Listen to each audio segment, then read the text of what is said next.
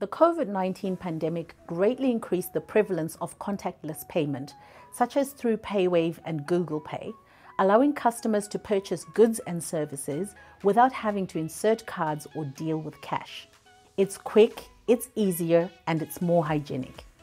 Customers appreciate transactions that are both secure and convenient, which is why many tourists prefer contactless payment methods. Some contactless payment methods also utilize point platforms or reward systems for end users as an extra incentive to go contactless. Another popular payment method are buy now, pay later, BNPL options, which can open up possibilities for customers who are currently cash poor but soon to be flush. Cryptocurrencies are also still in vogue. Despite some fluctuations in prices, trading in crypto is still considered one of the most secure and anonymous payment methods with high levels of end to end encryption.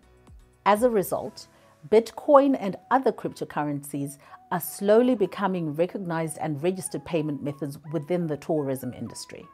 Air Baltic is the world's first airline to accept crypto as an official form of payment.